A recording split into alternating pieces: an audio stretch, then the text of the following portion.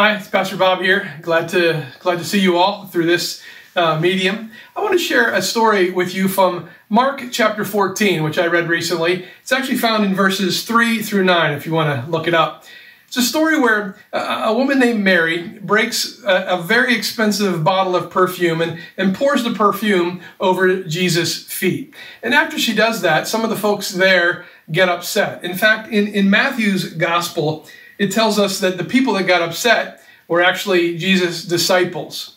And, and the word that scripture uses says they were indignant with her, and they say this Why this waste?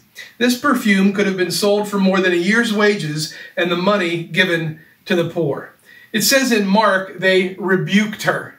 And the idea of that word is that, you know, they scolded her.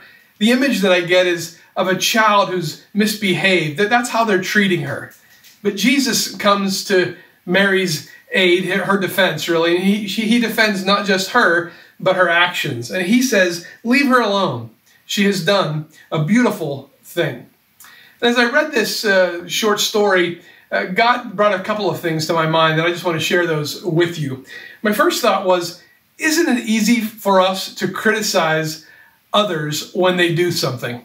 It's so easy, at least for me, to do nothing and yet criticize folks for doing something.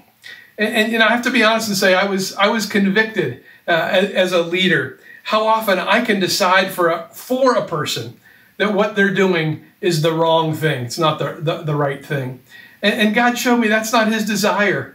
The truth is, I want to encourage people to do the things that God is calling them to do, not be someone who tells them they shouldn't be doing it. That leads really into my second thought. In Jesus' response, he says, only in Mark, these words are recorded, she did what she could.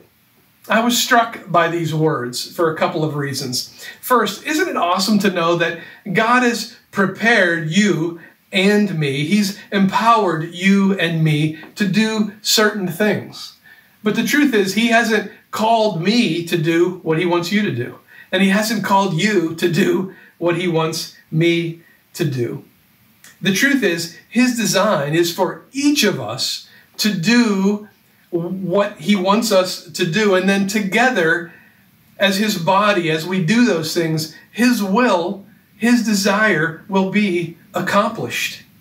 The second thing that I realize is that God calls you and others uh, to do things in a way that may be different than he calls me to do them.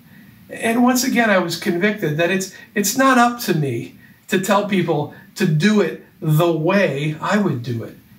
It's very clear that in a, in a body like Community Alliance Church, everyone has different personalities. They have different approaches to doing things. And, and certainly we have different spiritual gifts as well. So God just reminded me it's not important. In fact, it's not even what He desires for people to do things the way I would do them. And I want to encourage you with that as well. It may be that you see some other people doing some things and they're not doing it the way you would do them, that might be exactly what God wants in this situation. Lastly, you know, at this time in history, uh, there's a lot of things I think that we all want to do, but we can't because of the fact that we're in isolation. And, and this may be a simplistic reminder, but but I, I felt like God, you know, He reminded me, and so I want to remind you. God is not going to hold us accountable for something that we cannot do.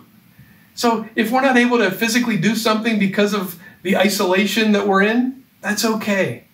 What he does want to be able to do is say about each one of us, you know, he did what I was calling him to do during that period of time. She did what I was asking her to do during that period of time.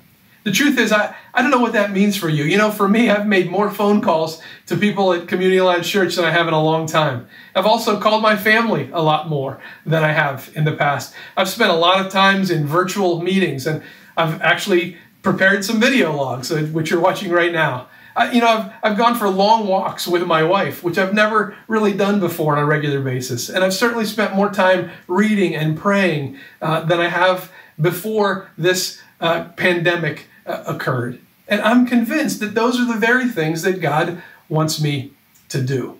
And so, what I'm asking uh, God for is that, that He would give you a clear direction on what it is He wants you to be doing right now. And then to give you freedom from not stressing out over those things that you cannot do.